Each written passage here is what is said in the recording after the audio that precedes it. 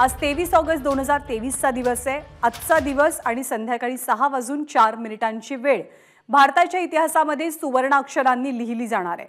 कारण या क्षणी याच वेळी भारताच्या भाडी ऐतिहासिक यशाचा टिळा लागेल. याला कारण आहे भारताची चांद्रयान तीन ही मोहीम. संपूर्ण जगाचं लक्ष लागलेली चांद्रयान तीनची मोहीम आज संध्याकाळी सहा वाजून चार मिनिटांनी अखेरच्या टप्प्यावर येणार आहे. त्यानंतर चांद्र मोहीम यशस्वी करणाऱ्या चार देशांमध्ये गौरवानं आणि अभिमानानं भारताचं नाव घेतलं जाईल. भारतासाठी अत्यंत अभिमानाचा स्वाभिमानाचा आणि गौरवाचा असलेला हा क्षण शेवटच्या टप्प्यात पोहोचलाय. चांद्रयान तीनच्या सॉफ्ट लँडिंगचं काउंटडाऊन काल संध्याकाळपासून सुरू झालंय. लँडर मॉड्यूलसोबत अवकाशातनं आणि जमिनीवरनं अखंड संपर्काची तयारी पूर्ण झाली आहे आणि या क्षणाला चांद्रयान तीन चंद्रापासून अवघ्या पंधरा मैलावर असून लँडिंगची तयारी सुद्धा पूर्ण होती आहे भारतीय वेळेनुसार संध्याकाळी सहा वाजून चार मिनिटांनी चंद्रावरती सूर्योदय सुरू होणार आहे आणि चांद्रयानाचं सॉफ्ट लँडिंगही पार पडेल.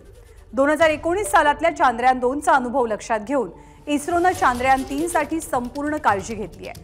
विक्रम लँडरच्या मागे पुढे आणि वरच्या बाजूला अँटीना जोडले गेले आहेत त्यामुळे लँडर मॉड्यूलच्या स्थितीच्या प्रत्येक क्षणाचे अपडेट नियंत्रण कक्षाला मिळतील. चांद्रयान तीनच्या लँडिंगपूर्वी दोन तास आधी आढावा घेतला जाईल आणि मग लँडिंगसाठी वातावरण पोषक नसेल तर लँडिंग सत्तावीस ऑगस्टपर्यंत लांबणीवरती पडू शकतं अशी माहिती इस्रोच्या वतीनं दिली जाते. आणि बंगळुरूमधल्या इस्रो कमांड सेंटरमधनं आपले प्रतिनिधी अभिषेक मुठाळ सध्या आपल्यासोबत आहेत. अभिषेक हीच ती जागा आहे जिथून खरं तर चांद्रयानासोबत संपर्क साधला जातोय. सगळ्यां म्हणजे सगळ्यांचं जे टेन्शन आहे इथलं ते खरंच खूप टोकाला पोहोचलेलं असेल. पण इथे तयारी कशी करण्यात आली आहे? सर्वसामान्य माणसं सुद्धा या परिसरामध्ये येऊ शकतात का? चांद्रयान तीन लँडिंगचा अनुभव ते इथून प्रत्यक्ष घेऊ शकतात का?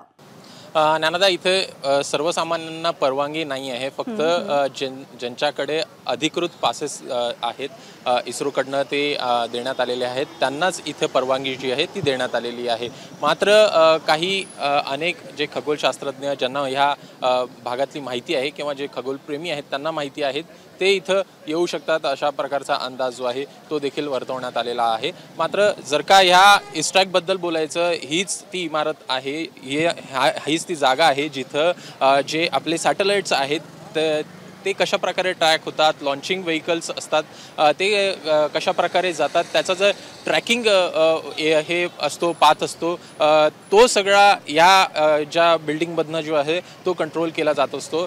कंट्रोल नेटवर्क या मध्ये आहे. एकूणच इस्रोचं टेलिमेट्री ट्रॅकिंग आणि कमांड नेटवर्क जे आहे ते या बिल्डिंगमध्ये आहे. जेवढे पण सॅटेलाइट्स आहेत किंवा मग मून मिशन असेल आपलं चंद्रयान मिशन असेल किंवा मंगळाचं मिशन मिशन असेल त्यासाठी ह्या कमांड नेटवर्कचा वापर जो आहे तो आपल्याला होताना बघायला मिळतो. मात्र दुसरीकडे जे एकूण हे चंद्रयान तीनचं जे यान आहे त्याच्यासाठी जो एकूण नेटवर्क आहे ते कशा प्रकारे हाताळला जात आहे तर इथूनच बंगळुरूमधनं काही अंतरावर बॅलोलू हे गाव आहे. त्या गावामध्ये डीप स्पेस नेटवर्क जे आहे ते स्थापन करण्यात आलेलं आहे. जेव्हा चंद्रयान मोहीम आपल्याकडनं हाती घेण्यात आलेली होती त्यावेळीच हे नेटवर्क जे आहे ते तिथं उभारण्यात आलेलं होतं. आणि तो संपर्क जो आहे तो तिथनं बॅललूमधनं होतो आणि तिथनं जो कंट्रोल आहे तो सगळा इथं आपल्याला बघायला मिळतो. आणि इथूनच ती उत्सुकता जी आहे ती सगळ्यांच्या शिगेला पोहोचल्याचं आपल्याला बघायला मिळतं आहे.